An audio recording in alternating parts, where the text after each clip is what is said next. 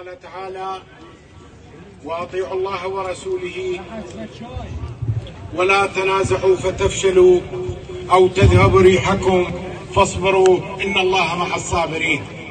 صدق الله العظيم.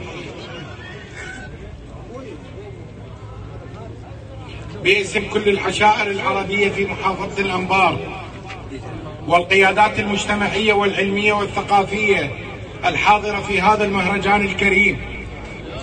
محتفلة بقدوم الشيخ الأمير علي حاتم عبد الرزاق العلي السليمان وهو بعودته وهو سليل إمارة الإدليم بين أهله وناسه ومحبيه ووسط أبناء عمومته في محافظة الأنبار. كل عشائر الأنبار والحضور الكريم وكل جماهير الأنبار مسرورة بقدوم الشيخ الأمير إلى محافظته في